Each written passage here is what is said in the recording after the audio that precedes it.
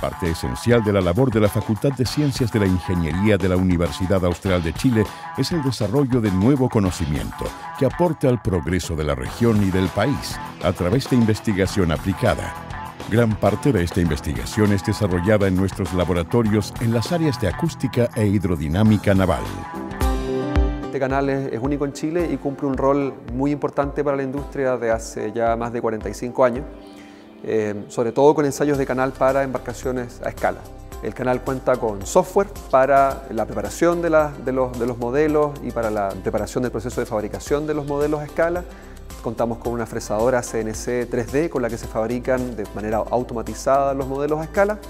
Y luego cuando esos modelos llegan aquí al canal, contamos con un carro que remolca el modelo, digamos, y lleva consigo una serie de instrumentos como celdas de carga, sensores de movimiento, acelerómetro y también se le pueden instalar eh, eh, sistemas adicionales como cámaras, ya sea en superficie o submarina, y sistemas de medición de altura de olas. También hacemos investigación en el área naval con embarcaciones, pero recientemente nuestro foco se ha ido, se ha ido enfocando en, algunas áreas nuevas, por ejemplo eh, en, la acuicultura o tecnologías para la acuicultura, donde han aparecido nuevos desafíos que no solo se limitan a embarcaciones, sino que van más allá, como por ejemplo el desarrollo de nuevas plataformas para acuicultura en zonas más expuestas al oleaje, o el análisis del comportamiento de redes eh, bajo distintas condiciones de corriente o la optimización de eh, las jaulas flotantes o de elementos estructurales de las jaulas flotantes en olas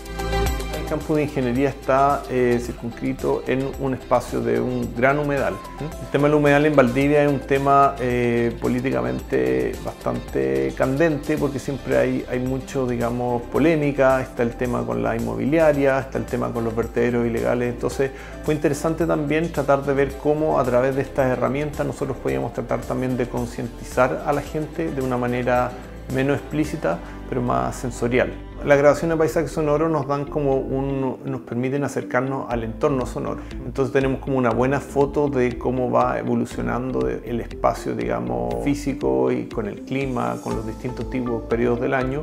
Y lo que hacemos, utilizamos esas grabaciones y registramos largos periodos de tiempo y después realizamos un timelapse. Comprimimos en el tiempo ese sonido para darle al, auditor la sensación de que en cinco minutos experimenta las variaciones de un paisaje sonoro de 24 horas. Entonces tener otra forma de que la gente pueda acercarse al, al, espacio sonoro de este humedal y a través de eso conocer los tipos de aves, los tipos de anfibios y el tipo también de vegetación y foresta.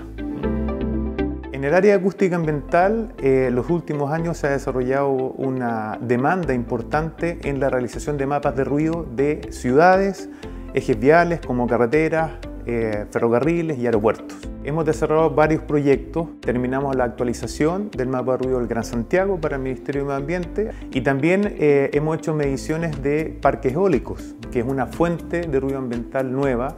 Actualmente estamos colaborando en la realización del mapa de ruido de la Ruta 5. Son más de 2.500 kilómetros del eje vial más importante del país. Estamos aportando con equipamiento de alta tecnología para el estudio de la emisión de ruido de la carretera como una fuente emisora.